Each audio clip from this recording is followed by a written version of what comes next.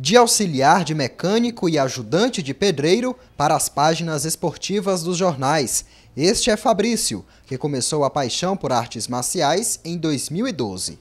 Comecei já um pouco assim, já bem com a idade já um pouco mais alta, não tem? Mas eu vejo que isso, quando a pessoa quer conseguir é, o que quer, é, fazer o que quer também, eu acho que a idade não influencia muito não. Eu resolvi, tô com, desde o ano retrasado que eu tô treinando, tô lutando aí, resolvi seguir essa carreira, acho que é porque eu, é uma coisa que eu gosto, resolvi praticar, é, entrar em competições, que é uma, uma boa coisa para mim, um bom exercício. Em oito lutas, o garoto de 24 anos já venceu seis competições. Agora ele se prepara para o Jango Fight UFC, um torneio de lutas onde vão participar no dia 17 de janeiro atletas de todo o país. Foi uma oportunidade que se abriu realmente para mim.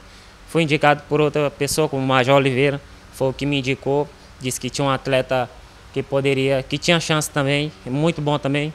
Acho que ele deve ter falado algo que essa outra pessoa deve ter escutado ele e poderia ter uma chance assim abrir, ter abrido essa vaga e ter entrado aí.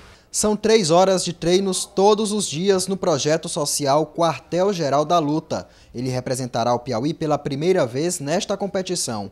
A categoria do Fabrício é 70 quilos. A gente treina aqui todos os dias, né? Nós temos uma parte de treino de jiu-jitsu com ele que, que ele faz na parte da tarde e à noite ele tem um treino específico de, voltado para o MMA. O atleta assinou contrato de um ano com o Jango Fight UFC, uma boa oportunidade para quem está começando na carreira. A grande importância é que ele não está assinando, estou com o contrato dele, ele não está assinando somente para para uma luta, ele está assinando um contrato com essa organização com quatro lutas.